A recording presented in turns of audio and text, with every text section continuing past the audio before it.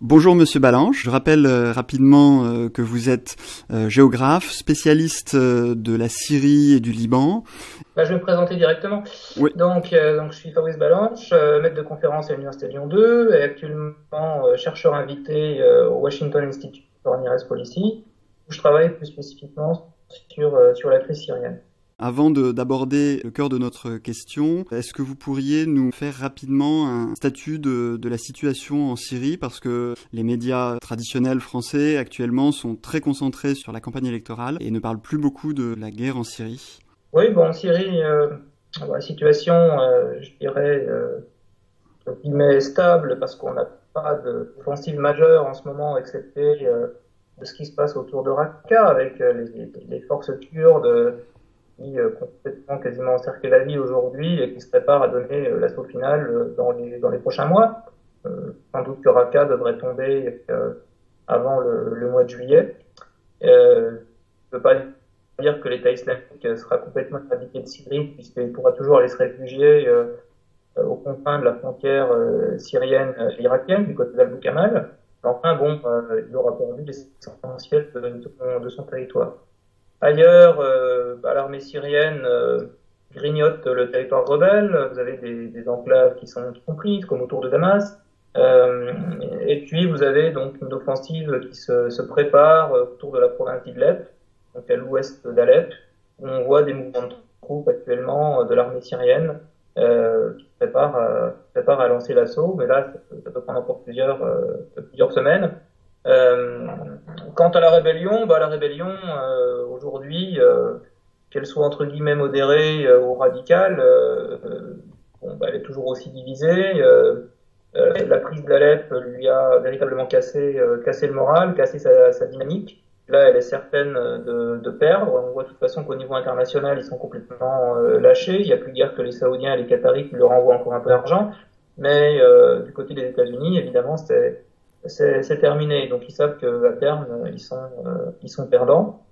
Alors dans combien de temps euh, on peut espérer avoir la paix en Syrie? Ça, c'est une autre question, parce qu'on a toujours à peu près 150 000 rebelles en armes en, en, Syrie, ce qui va prendre encore du temps pour, pour trouver soit un accord avec eux, soit, soit les éradiquer.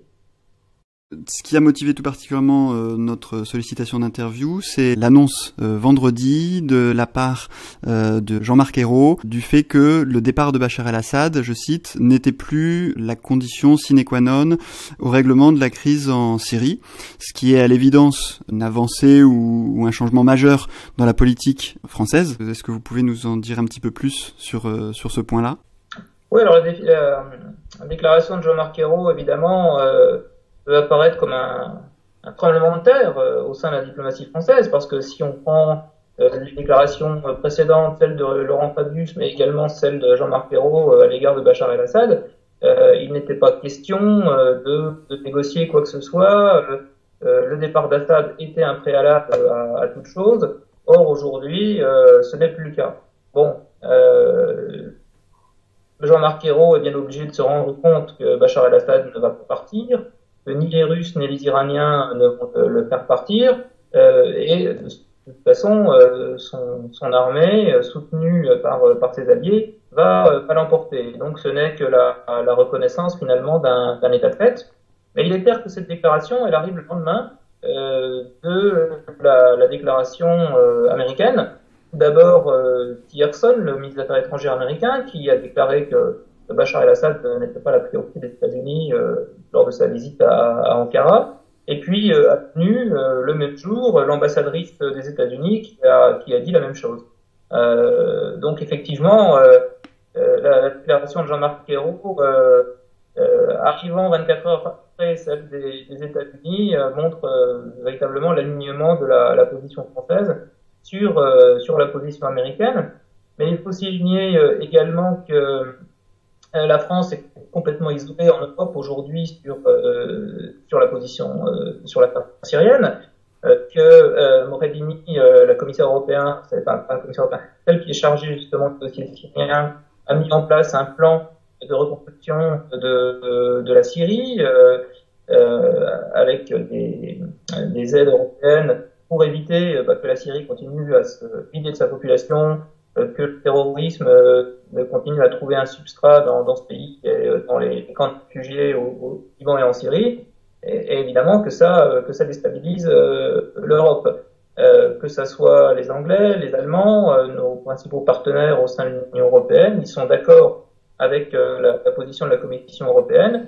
Et il n'y avait guère que la, que la France, avec Jean-Marc Ayrault, qui voulait torpiller ce, ce, plan européen en disant qu'il fallait réserver uniquement la euh, la, politique de reconstruction aux zones entre guillemets euh, libérées. Enfin, libérées, c'est le mot utilisé par euh, par le CAPS, le Centre d'analyse et de prospective du ministère des Affaires étrangères, qui donne ces, éléments de langage à Jean-Marc Ayrault, euh, aux zones libérées, c'est-à-dire la province d'Idleb, le, le, sud de la province de là où se trouvent finalement les rebelles et pas n'importe quel rebelle, puisque il s'agit des, gens al-Nusra, c'est-à-dire proches d'Al-Qaïda. Donc cette, euh, position, évidemment, était, était pour ceux qui, connaissent le terrain. Et euh, si Jean-Marc Ayrault euh, veut être audible à, Bruxelles, eh bien, il est tout de même obligé de d'avoir une position beaucoup plus réaliste, parce que la grande préoccupation de nos partenaires européens, c'est d'éviter de voir des millions de réfugiés syriens supplémentaires, d'autant plus qu'on n'est pas sûr qu'après le référendum en Turquie, euh, Erdogan euh, n'ouvre pas les vannes euh, des réfugiés vers l'Europe, puisqu'il est très mécontent évidemment de, de ses rapports avec l'Union européenne, notamment le fait que nous n'ayons pas supprimé les visas pour les ressortissants. Vous avez déjà abordé le sujet de ma troisième question, mais qui était la, position dans les chancelleries américaines. Comment peut-on, selon vous, expliquer ce revirement de, situation qui est relativement soudain? Oh, Il n'est pas relativement soudain. Hein. ça fait quand même euh, plusieurs, euh, plusieurs mois qu'on se prépare à cette, à cette annonce. Euh, bon, ce qui a accéléré évidemment les choses, c'est la, la, victoire électorale de Donald Trump. Je pense qu'Hillary Clinton aurait fait plus de résistance euh, par, rapport, euh, par rapport au dossier syrien. Mais là, Donald Trump a décidé que son objectif, c'était d'éliminer le terrorisme, l'État islamique et Al-Qaïda en Syrie. par conséquent, finalement, Bachar el-Assad c'est un gage de stabilité pour, pour le reste du pays sur lequel il faut s'appuyer pour combattre le, terrorisme. Euh, il n'est donc plus question euh, de, de, vouloir, euh, de vouloir le faire partir.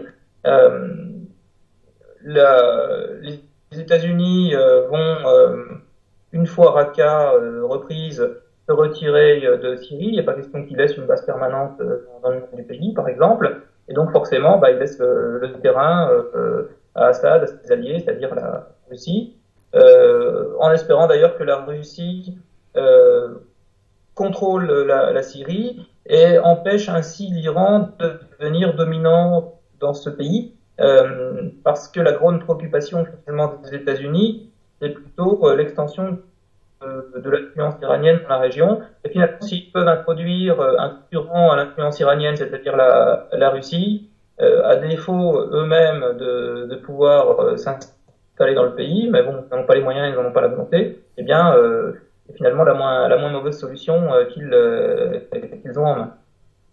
Une dernière question, puisque là vous venez d'aborder la, position russe justement. Est-ce que vous pensez qu'on peut conclure ou déduire de ces deux événements qu'ils sont le révélateur d'une certaine victoire diplomatique de, de, la Russie sur le théâtre syrien?